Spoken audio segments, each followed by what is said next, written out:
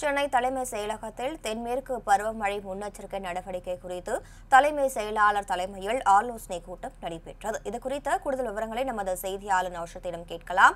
வணக்கம் நௌஷத். இந்த ஆலோசனை கூட்டத்தில் எடுக்கப்பட்ட முடிவுகள் குறித்து விரிவா சொல்லுங்க. வணக்கம் மேகா. குறிப்பாக சென்னை தலைமைச் செயலகத்தில் நாமக்கல் கவிஞர் மாலையில் தலைமைச் செயலாளர் தலைமையில் ஆலோசனை கூட்டம் நடைபெற்றது. இந்த கூட்டத்தில் தென்மேற்கு பருவமழை தொடங்கியிருக்கிறது. குறிப்பாக மேற்கு தொடர்ச்சி மலையை ஒட்டியிருக்கக்கூடிய மாவட்டங்களுக்கு குறிப்பாக மழை பெய்தது என்பது அதிகமாக காணப்படும். குறிப்பாக கேரளா அதை ஒட்டியிருக்கக்கூடிய கோயம்புத்தூராக இருக்கட்டும் ஈரோடு சேலம் மேற்கு தொடர்ச்சி மலை ஒட்டி வரக்கூடிய மாவட்டத்தில் மழை அதிகமாக பெய்யும் பெய்யும். அதுவும் இல்லாமல் ஆஹ், இருக்கக்கூடிய கரைகளை தூ தூர்வாருவது மற்றும் தாழ்வான பகுதிகளில் மக்களுக்கு ஏதேனும் பாதிப்பு ஏற்படுமா? பாதிப்பு அறிந்து அவர்களை ம- குறிப்பாக மேலான பகுதி கொண்டு செல்வதும் அது மட்டும் இல்லாமல் அவர்களுக்கு பாதிப்பு ஏற்படாமல் போட்டு தயார் இருப்பதாக தயார் நிலை வைப்பு வைத்திருப்பதும் அது மட்டும் இல்லாமல் இன்னும் ஒரு நாட்களில் பனிரெண்டாம் பன்னிரெண்டாம் தேதி மேட்டூர் அணை திறக்க இருக்கிறார்கள். தமிழக முதல்வர் மு க ஸ்டாலின் அவர்கள்.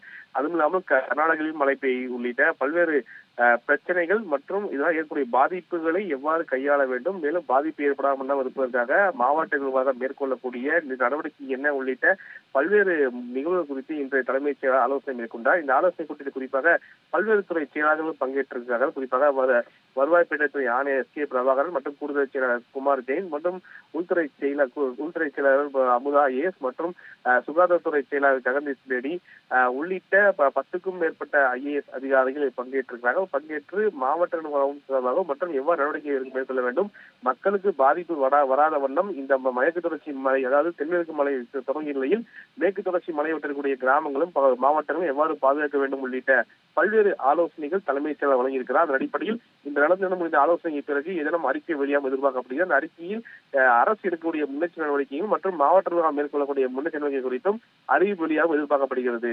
மேகா. உங்களுடைய விவரங்களுக்கு நன்றி நௌஷத்.